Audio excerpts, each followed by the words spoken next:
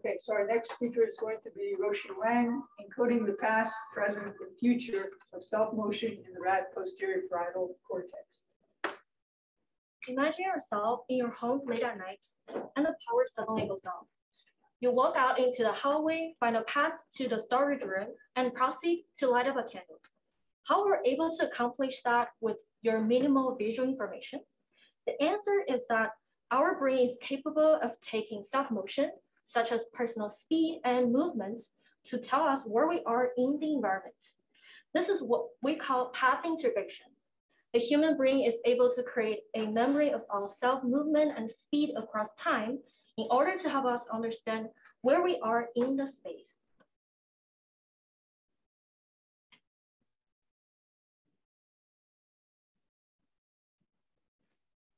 The vestibular system is located in our inner ear.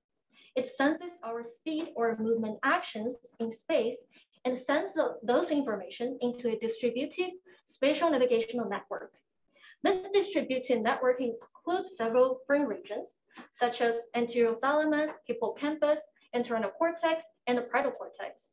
And what we will focus on here today is the parietal cortex, mainly because there are about 50% of its neurons respond to navigational actions. This is true for rodents, humans, and monkeys. Routes can take many different forms. There are a few different ways we can think about a route, such as a shape of a route, or we can think about routes by a series of locations we encounter in the environment, such as point A, B, C, etc., or a series of actions, such as going straight, making a right turn, or making a left turn. Parietal cortex neurons are able to map our location on a route based on directional actions, such as linear speed, how fast we're going straight, or angular speed, how fast we're turning left or turning right. To see how our brain uses this information to create a representation of space, we can look at a study done by Professor Nitz in 2006, which examined neurons from the parietal cortex of rats as they navigate through various pathways. In one section of the experiment, the rat was required to navigate from the starting point to the goal site, as shown on graph A, or in reverse, as shown on graph B. In this condition, the shape of the routes were the same, and the sequence of actions the animal need to make is the same, such as going straight, make a right turn, then going straight, make a left turn, then going straight to reach the goal site. We can differentiate between the two by the direction of action. And below is the firing activity of one single neuron when the rat was on condition A and condition B. And what we're looking at here is the shape of the shaded gray area. The shaded gray area for A and B are nearly identical, this means that the firing activity of these individual neurons did not change, even though the direction of action between A and B is different. This would mean that the firing activity of some parietal cortex neurons are modulated by the shape or space defined by the route itself and the sequence of actions, regardless of envir environmental context or the direction of movement. We will refer this as a route-specific firing activity.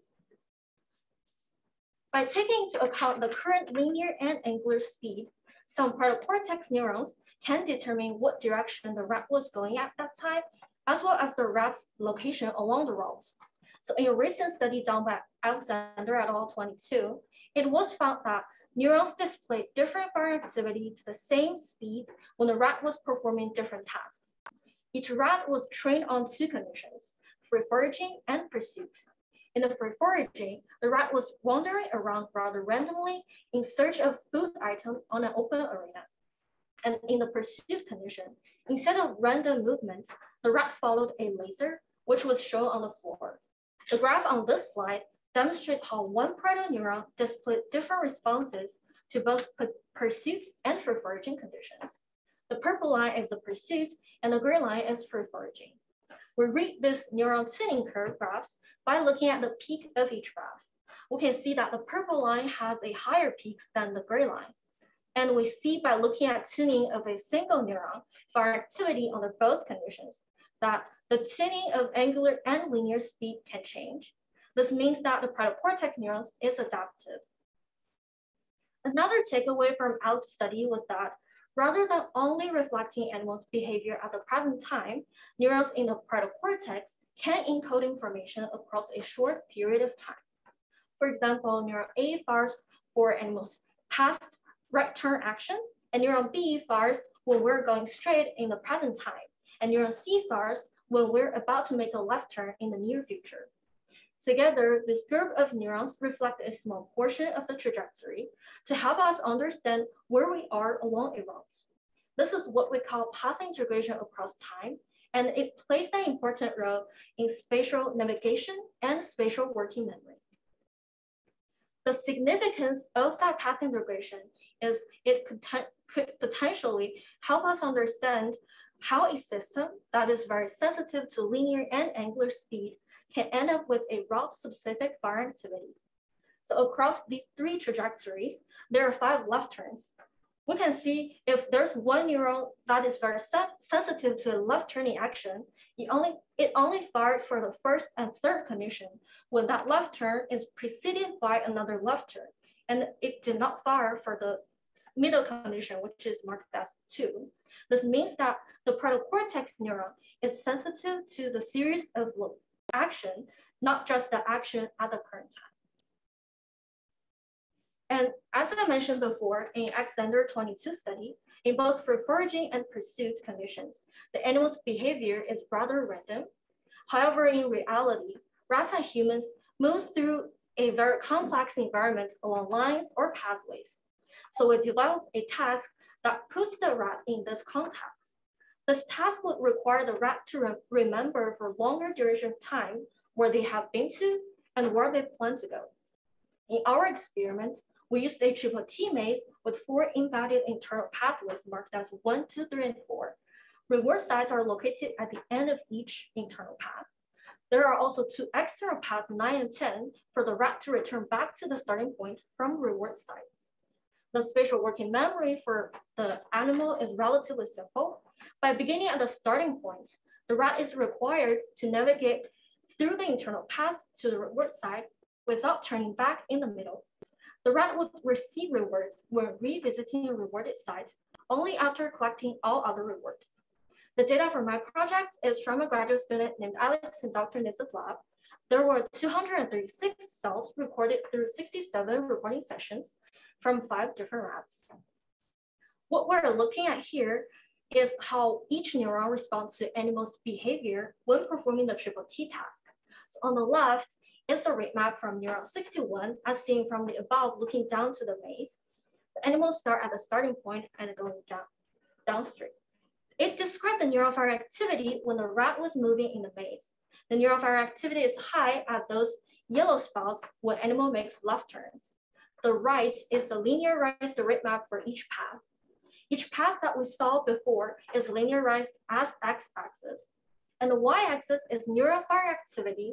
This, this neuron showed increased fire activity at some left turns. And other left turns, the neuron showed low fire activity. So from both graphs, we can see that this neuron is sensitive to some, but not every single left turn. This is supporting what I mentioned before, that neural activity can be modulated by a sequence of actions. Then what we did is to proceed to generate tuning curves for each neuron in order to assess how they respond to actions. Here are tuning curves for neuron 61 and 5 as examples. By looking at where the peak is on each graph, we can know that for the neuron 61, which is shown on the left, this neuron is tuned to high angular speed when animal is either making a left turn or right turn.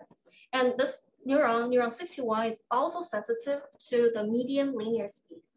And neuron 5 is tuned to high linear speed when animal is going straight. These two neurons are example of different neuronal tuning for specific angular and linear speed.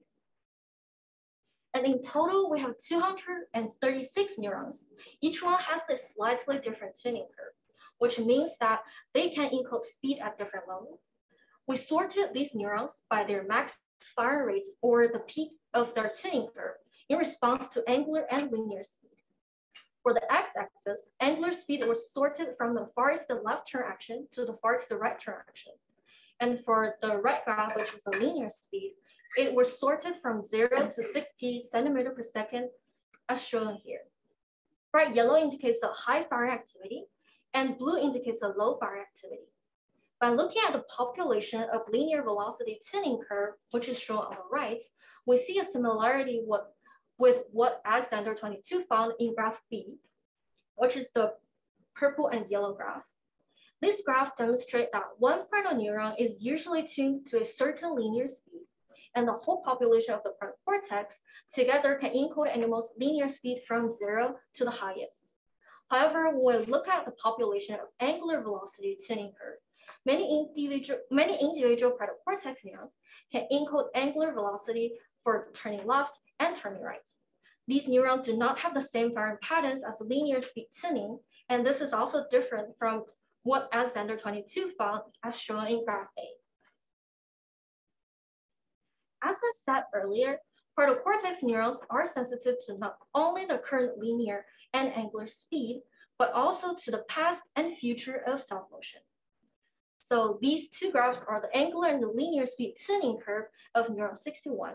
Firing rate of the neuron relative to angular speed at the current time is time lag zero, as shown in red line. Above the red line is the fire rate of the neuron to the angular and linear speed of the past, and below the red line is the future. The brighter yellow indicates the higher fire activity of the neuron. And there are bright yellow clusters on the graph, which means that this neuron fired strongly for past, present, and future collectively across a short period of time. So our next goal was to see how long this period of time or integration window was. So what we did here is to test our ability of decoding parietal neurons firing activity by use the fire rate of the neuron to pre predict or decode the linear and angular speed in the past, present, and future. We see that for this neuron, which is shown on the left side, it can predict the linear speed of the animal for four second window in the past. And on the right is a graph from Alexander et al. 22 study. The green line refers to the free foraging condition. The purple line is the pursuit condition.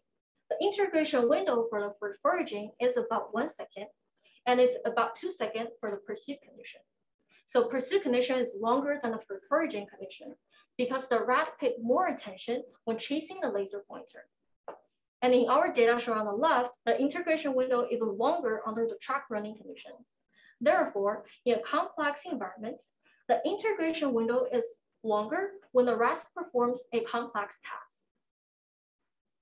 In conclusion, there is a path integration in the parietal cortex across time in well-structured space. The structured environment appears to support the parietal cortex in codes of actions across long period of time. It also aids the ability of the parietal cortex to integrate information across a longer time window. The parietal cortex is capable of integrating trajectories across a fairly long time period, many seconds, in a way that contributes to the performance of a complex task. Thank you.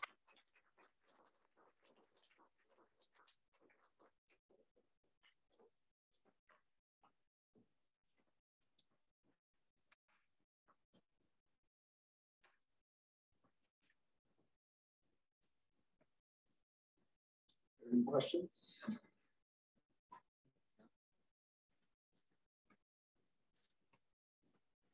Okay. Next person. Thank you so much.